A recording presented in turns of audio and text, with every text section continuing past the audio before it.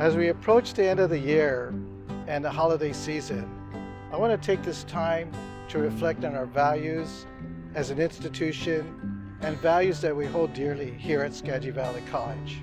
At Skagit Valley College, we strive to be the first choice college in our community. We believe in our college. We believe in our people. We strive hard to respect everyone on this campus, regardless of your background or beliefs. Taking care of ourselves physically and mentally is essential to our success. During the holiday season, we encourage you to spend quality time with those that you love.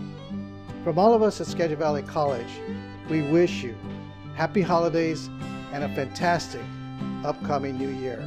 Thank you for all that you do to serve our wonderful college.